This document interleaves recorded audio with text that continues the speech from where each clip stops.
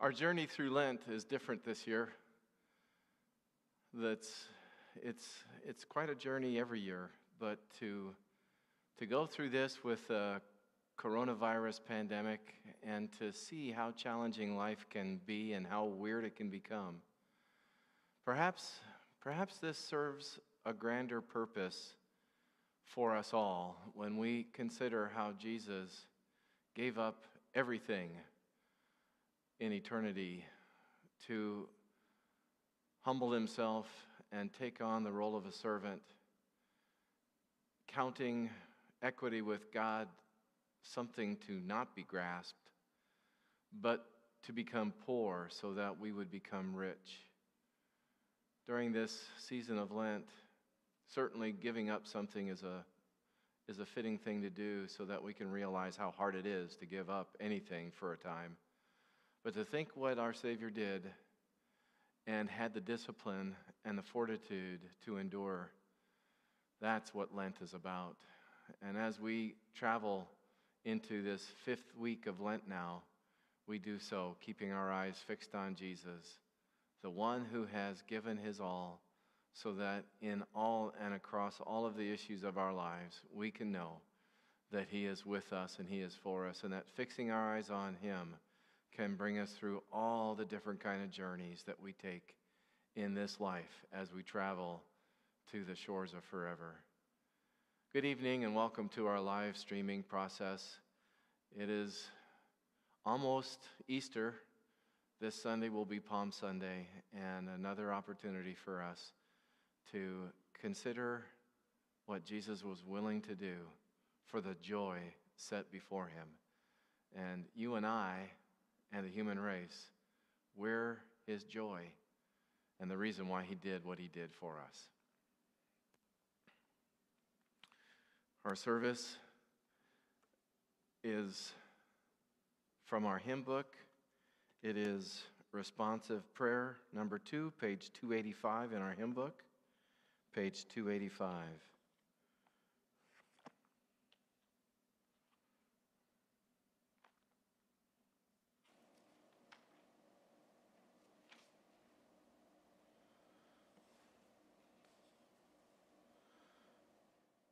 O Lord, open my lips, and my mouth will declare your praise. Make haste, O God, to deliver me. Make haste to help me, O Lord.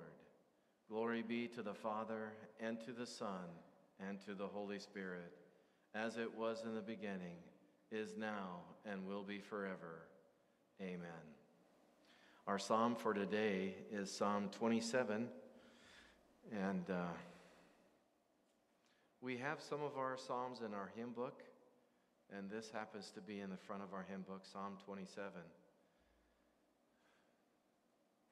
No matter how dark our days can be and how uncertain the future can look from our vantage point, we have someone who is with us. And that's what Psalm 27 is all about. Psalm 27, let's read it together. The Lord is my light and my salvation. Whom shall I fear? The Lord is the stronghold of my life. Of whom shall I be afraid? When evildoers assail me to eat up my flesh, my adversaries and foes, it is they who stumble and fall. Though an army encamp against me, my heart shall not fear. Though war arise against me, yet I will be confident. One thing have I asked of the Lord, that will I seek after, that I may dwell in the house of the Lord all the days of my life, to gaze upon the beauty of the Lord and to inquire in his temple. For he will hide me in his shelter in the day of trouble. He will conceal me under the cover of his tent. He will lift me high upon a rock. And now my head shall be lifted up above my enemies all around me. And I will offer in his tent sacrifices with shouts of joy. I will sing and make melody to the Lord. Hear, O Lord, when I cry aloud. Be gracious to me and answer me. You have said, Seek my face.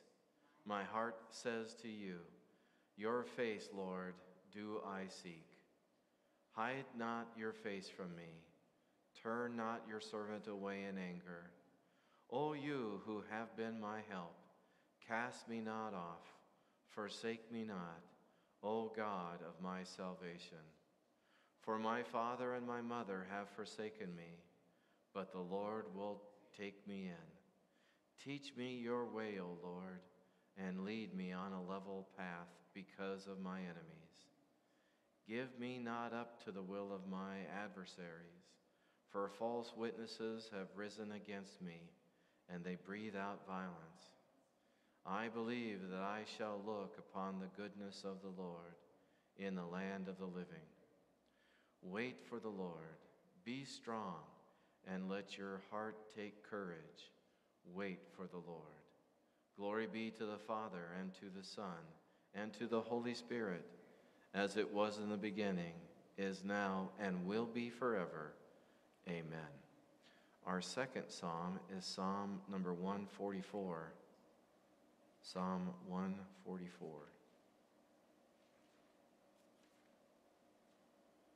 And Psalm 144 is not in our hymn book, but it's in our Pew Bible.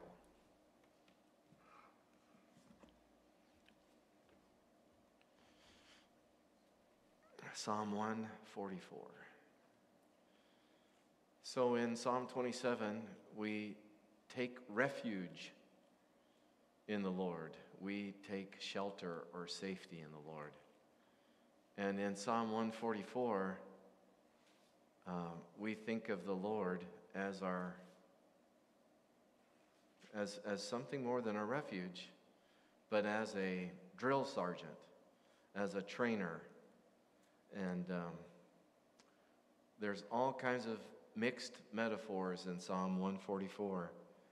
Um, let's read it together. Psalm 144. Blessed be the Lord, my rock, who trains my hands for war and my fingers for battle.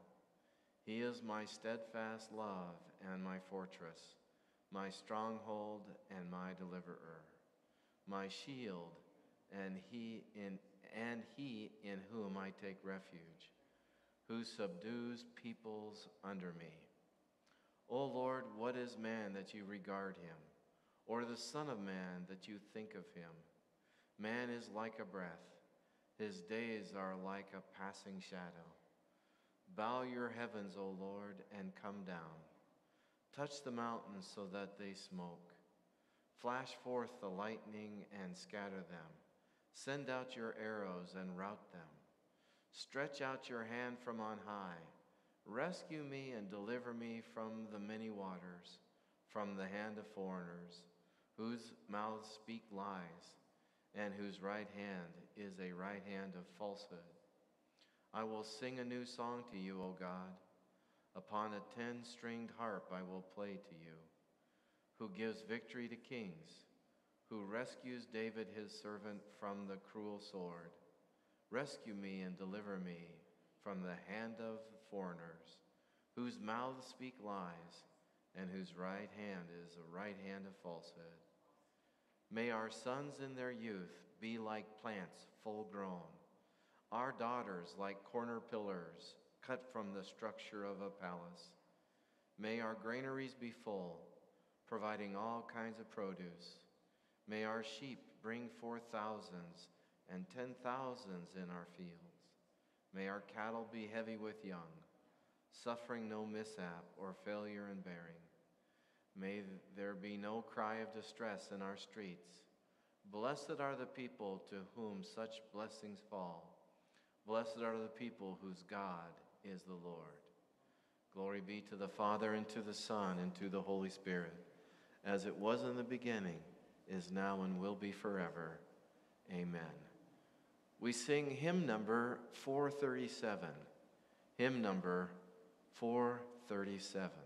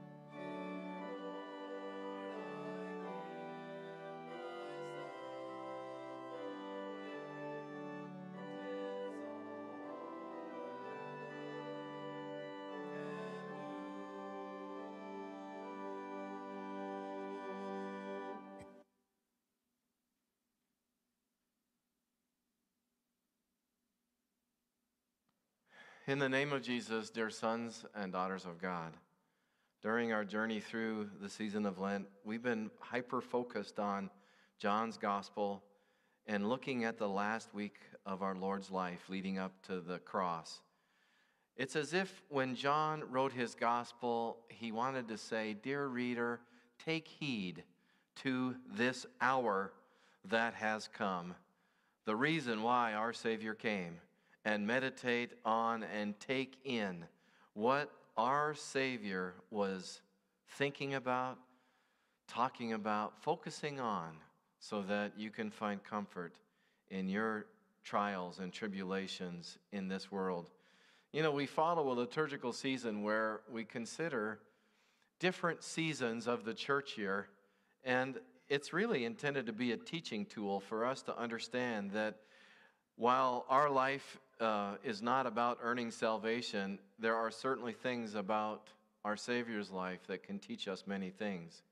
Certainly, we are to take up, of our, take up our cross and follow Jesus, but not to Golgotha, where we have to sacrifice our life.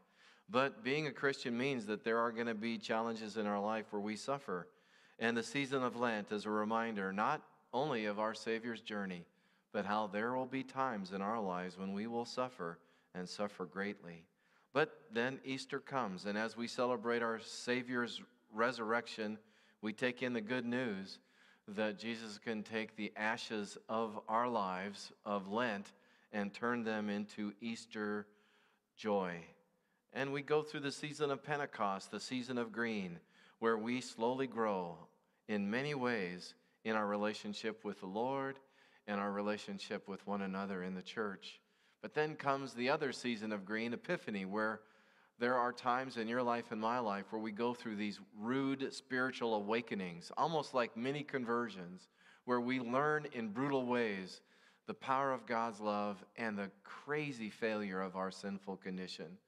But in those epiphanies, still, there is growth to be had. And everyone likes looking forward to Christmas, the season of hope, looking forward to. Certainly, I would like to see in your life and my life plenty of uh, Advent, hope.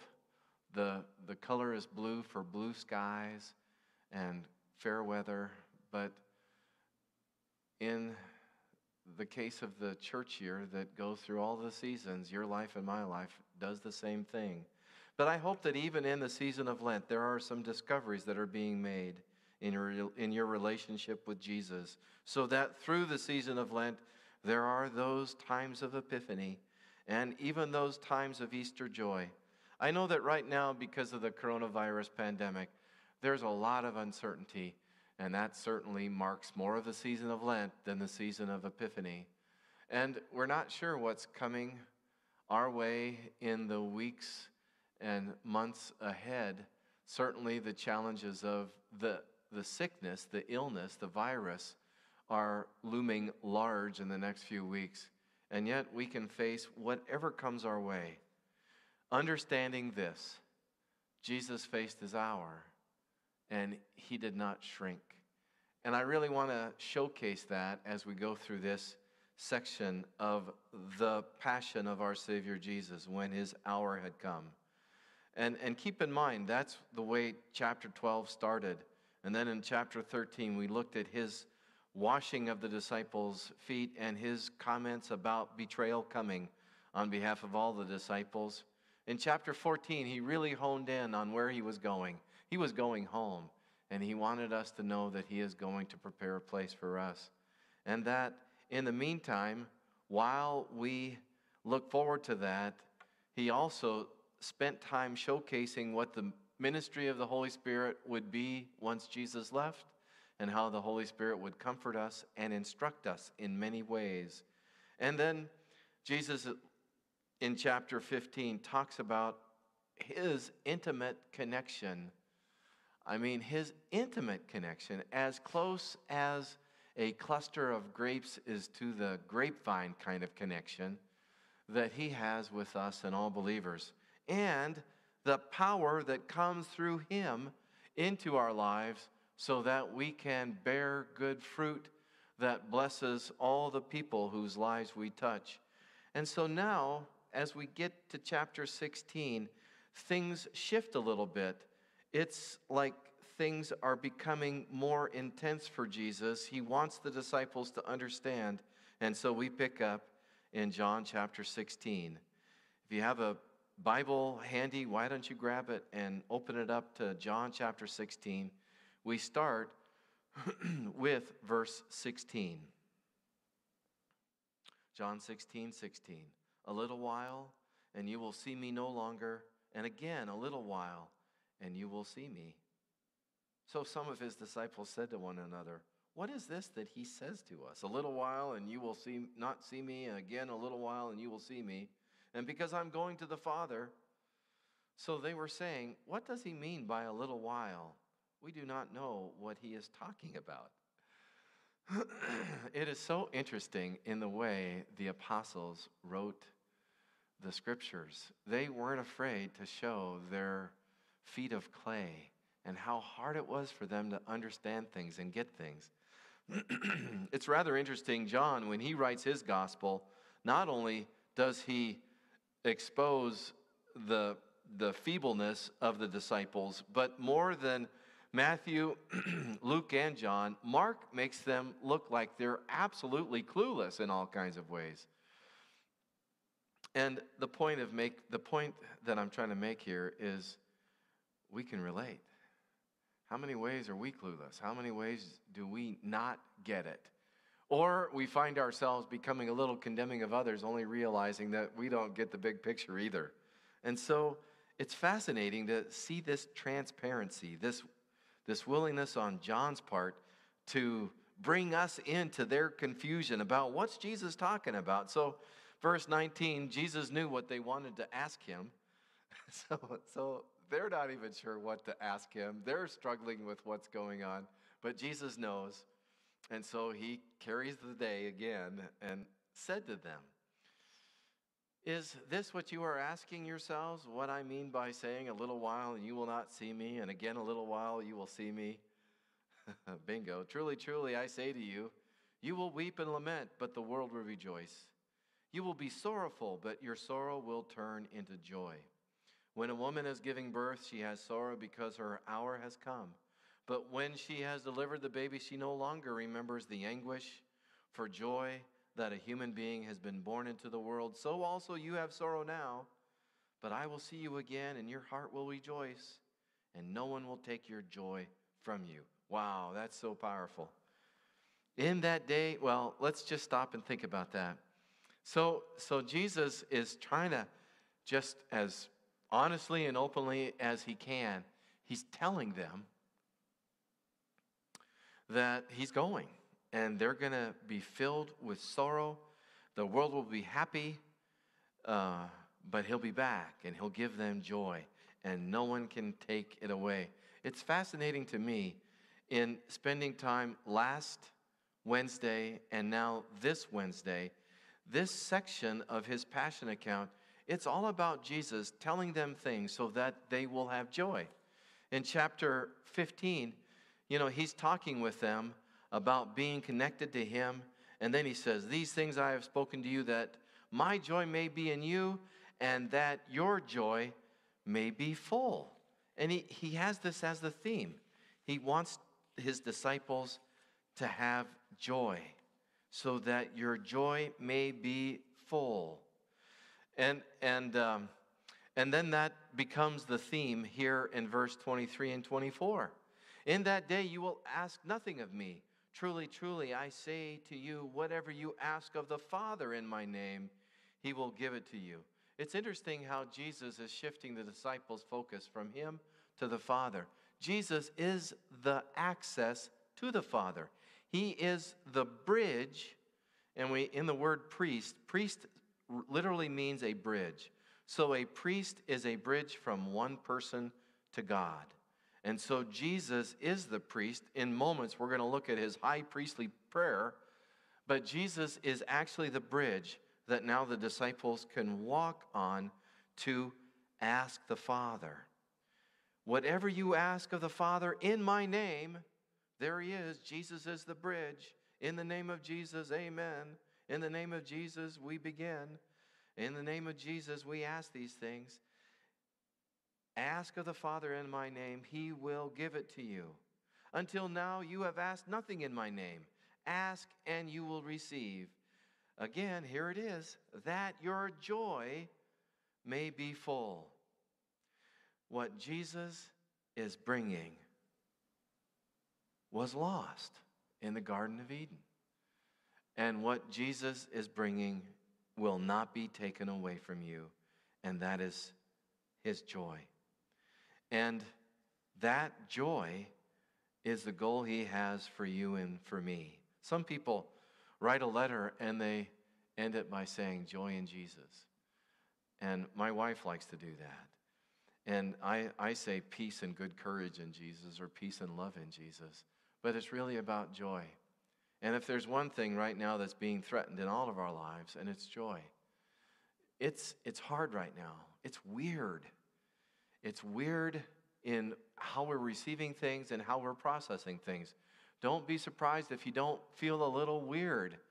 And, and, but then understand what the Lord wants you to have is joy.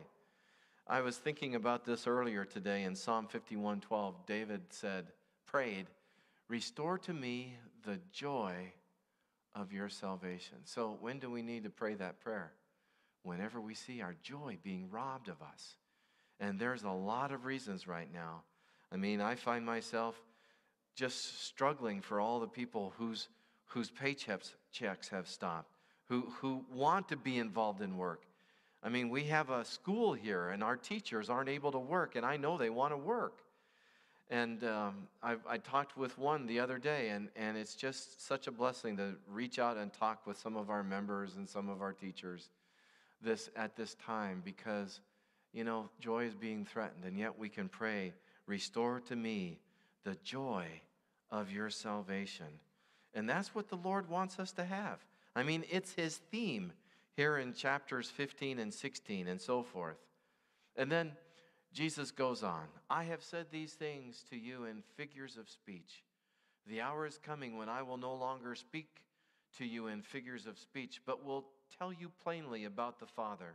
In that day you will ask in my name, and I do not say that say to you that I will ask the Father on your behalf, for the Father himself loves you. I mean, this is so precious. For the Father himself loves you. You see, the sacrifice necessary to remove all the wrath for all of our sin and transgression and wickedness would take place in, in like a day from this. And, and yet, Jesus already knows that what he is doing is knitting together this loving relationship. He's again the bridge. So, Jesus, as bridge, is effective in ensuring that the Father himself loves you. And in truth, even before that sacrifice, God sent his Son because of love. For God so loved the world that he gave his only begotten Son that love was even before the sacrifice. It's as if it was already done. And Jesus is carrying out the master plan of salvation. Because you have loved me and have believed that I came from God. You see, it's interesting when people start believing that what the Father has done in sending his Son, you see that loving relationship is being knit together. So I had to hurry up and get here because today I've had to have one of my HVAC systems replaced. And it was fascinating. You know, I tried to stay out of everyone's uh, way. I was their go for and worked on things. So I was working on preparing this message, doing emails, talking on the phone, and also overseeing a big job. And then I had to also figure out how to get the water heater lit again because we had to shut off the gas valve because the valve that was shut off upstairs leaked. It's a long story, but uh, what's fascinating is just talking with some of the guys. And one guy in, in particular, when they found out I was a pastor, I talked with them. And one, one guy in particular, and we talked about how, you know, God doesn't want us to be religious. He wants us to believe in His Son. And that believing in his son creates a relationship where we know that God isn't angry with us anymore. And, and I mean, isn't that a gift? I mean, that's, that's what Jesus did. He put together a broken spiritual HVAC system so that now we're reconnected to God and we have His cool grace and His mercy and His love. And, and that's what makes us His church. It's like using John 10 16, where we can say, I believe in the sheep pen. You know, for years, we've confessed being put together by the bridge of Jesus so that we're one church. We, we call it traditionally the one holy Christian and apostolic church, the, the communion of saints.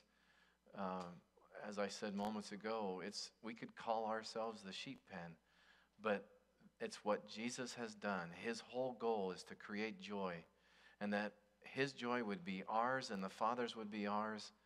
And that's, that's what's so amazing about what's happening in this section of the, of, of the passion account of our Savior's uh, last week. In fact, just less than a few days wrapping up before he fulfills it all by going the way of the cross. And how wonderful it is to know that we're a part of that because of what Christ has done, our good shepherd, and we are his sheep. We could use John chapter 10, verse 16, and say, I believe in the holy sheep pen, or the one flock with the one shepherd. Into me I've given to them, that they may be one, even as we are one. I and them, and you and me, that they may become perfectly one, so that the world may know that you sent me and love them, even as you love me. Father, I desire that they also, whom you have given me, may be with me where I am, to see my glory that you have given me, because you loved me before the foundation of the world. Jesus is cherishing in his heart his relationship with his Father. But we know what will come in the cross. We know what will come. And yet, this is his confidence, and this is his peace, and this is his trust. O righteous Father, verse 25, even though the world does not know you, I know you. And these know that you have sent me. I made, to them, I made known to them your name and I will continue to make it known, that the love with which you have loved me may be in them and I in them. It's all about the others as far as Jesus is concerned. It's not about him, it's about honoring his Father. It's about making a connection that will last between us and him and all around among God's children, his family. And that's his high priestly prayer, his sacerdotal prayer, as the bridge, the priest who is connecting the lost to the Father so that they may be one in him and that their joy may be full and that they may ask and it will be granted by the Father that he would be glorified through his Son and in us. What a beautiful picture this is the passion of our Savior Jesus. And think about it this is all just hours away from his rejection, from his betrayal, and from his suffering on the cross. Facing the wrath of Almighty God, our Father, so that we would be reunited with our Father. And then, chapter 18, when Jesus had spoken these words, he went out with his disciples across the Kidron Valley, where there was a garden, which he and his disciples entered. This is the Garden of Gethsemane. So they leave the upper table, they leave the Passover meal and all that it meant. And now Jesus is going to the place where he will be handed over. Verse 2 Now Judas, who betrayed him, also knew the place for Jesus often met there with his disciples. So Judas, having procured a band of soldiers and some officers from the chief priests and the Pharisees, went there with lanterns and torches and weapons. Then Jesus, knowing all that would happen to him, came forward and said to them, Whom do you seek? They answered him, Jesus of Nazareth. Jesus said to them, I am he. Judas, who betrayed him, was standing with them. When Jesus said to them, I am he, they drew back and fell to the ground. So he asked them again, Whom do you seek? And they said, Jesus of Nazareth. Jesus answered, I told you that I am he. So if you seek me, let these men go. This was to fulfill the word that he had spoken. Of those whom you gave me, I have lost not one. And that's John 6 39. Then Simon Peter, having a sword, drew it and struck the high priest's servant and cut off his right ear. The servant's name was Malchus. So Jesus said to Peter, Put your sword into its sheath. Shall I not drink the cup that the Father has given me? It's quite a statement at the end of our meditation for this evening. Jesus knew that he would take and drink the cup of God's wrath. Across and for all the ways that you and I have fallen short, he would consume it so that we would be free of that cup of God's judgment and wrath for his sake. Think about it. I don't know what, I, what you would be doing if you only had um, 24 hours to live. But I'm not sure if I'd be doing any of this. What passion our Savior has for us, what focus, what dedication He had to come to our rescue and to give us the assurance of God's love.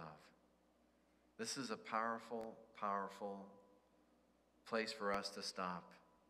We know what's to come and we will save that until next week. But as we conclude, let us think about our Savior's holy passion and let's have a prayer. Dear Lord Jesus, thank you for your dedication to our cause. Lord, something far worse than a global pandemic was facing you. Yours was an eternal rescue mission to save us from a forever separation from our Father and from each other. Forever. It took nothing less than your suffering and death, facing all the wrath of God in our place to save us. Thank you, Lord Jesus, for your holy passion.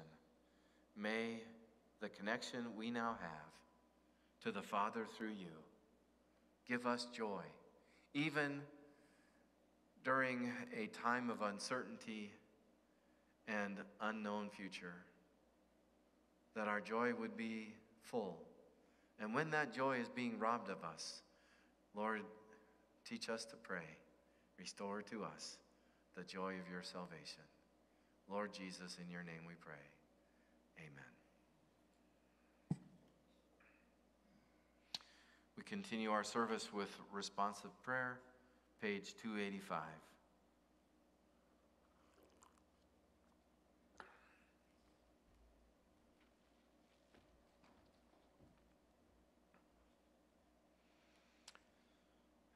O Lord, have mercy. O Christ, have mercy. O Lord, have mercy. Our Father, who art in heaven, Hallowed be thy name. Thy kingdom come, thy will be done, on earth as it is in heaven. Give us this day our daily bread, and forgive us our trespasses, as we forgive those who trespass against us. And lead us not into temptation, but deliver us from evil. For thine is the kingdom, and the power, and the glory, forever and ever. Amen. I believe in God the Father Almighty, maker of heaven and earth, and in Jesus Christ, his only Son, our Lord, who was conceived by the Holy Spirit, born of the Virgin Mary, suffered under Pontius Pilate, was crucified, died, and was buried. He descended into hell. The third day he rose again from the dead. He ascended into heaven and sits at the right hand of God the Father Almighty. From thence he will come to judge the living and the dead. I believe in the Holy Spirit, the holy Christian church, the communion of saints, the forgiveness of sins, the resurrection of the body, and the life everlasting.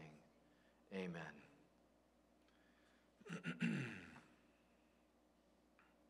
Certainly, if you would like to worship the Lord with your offering, you know, there are ways that you can do that. You can send in an offering envelope uh, to our church building uh, through the mail. You can go to our website and use PayPal. You could also, if you have online banking, just go ahead and do the online banking thing and mail a check to us. And, uh, you know, we, we are going through the process of counting and also depositing. Um, or you can just offer up your praise for all the ways that God blesses you and blesses us because of his mercy. You know, we, we give not out of obligation, but out of thankfulness for what God has done for us through his Son, our Savior Jesus. We continue with our versicles on page 286. Hear my prayer, O Lord. Let my cry come to you. In the day of my trouble, I call upon you, for you answer me. Hide your face from my sins and blot out all my iniquities. Create in me a clean heart, O God, and renew a right spirit within me. Cast me not away from your presence, and take not your Holy Spirit from me. Restore to me the joy of your salvation, and uphold me with a willing spirit. Because your steadfast love is better than life, my lips will praise you, for you have been my help, and in the shadow of your wings I will sing for joy. Teach me your ways, O Lord, that I may walk in your truth. Unite my heart to fear your name. I give thanks to you, O Lord my God, with my whole heart, and I will glorify your name forever. May all who seek you rejoice and be glad in you. May those who love your salvation say evermore, God is great.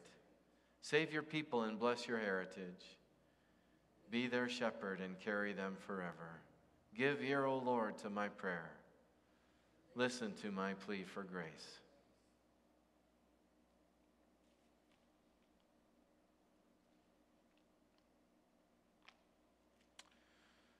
So we say this prayer in time of disaster.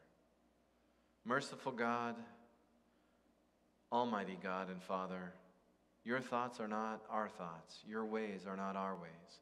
In your wisdom, you have permitted this disastrous coronavirus pandemic to befall us. We implore you, let not the hearts of your people despair, nor our faith fail us, but sustain and comfort us.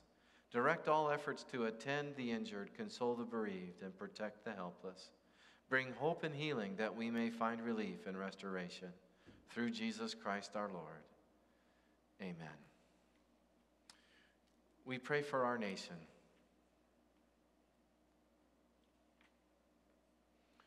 Almighty God, you have given us this good land our, as our heritage.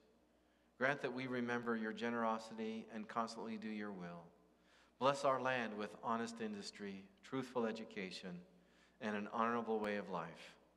Save us from violence, discord, and confusion, from pride and arrogance, and from every evil course of action. Grant that we, who come from many nations with many different languages, may become a united people Support us in defending our liberties and give those to whom we have entrusted the authority of government the spirit of wisdom, that there may be justice and peace in our land. When times are prosperous, may our hearts be thankful, and in troubled times, do not let our trust in you fail. Through Jesus Christ our Lord. Amen. We pray for the church.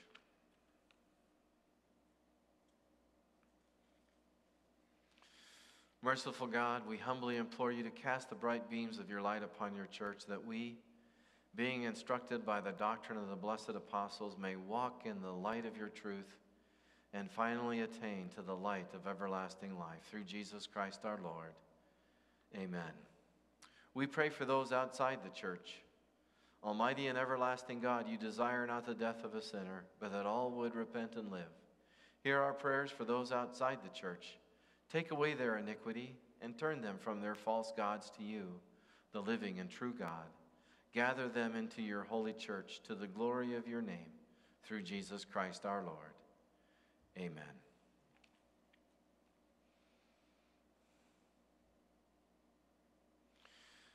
And we pray our evening prayer together on page 287 in the middle. I thank you, my heavenly Father, through Jesus Christ, your dear Son, that you have graciously kept me this day, and I pray that you would forgive me all my sins where I have done wrong, and graciously keep me this night. For into your hands I commend myself, my body and soul, and all things. Let your holy angel be with me that the evil foe may have no power over me. Amen. Let us bless the Lord. Thanks be to God. The Lord bless us, defend us from all evil, and bring us to everlasting salvation. Amen. We sing our closing hymn, Come, my soul, with every care, hymn 779. 779. 9.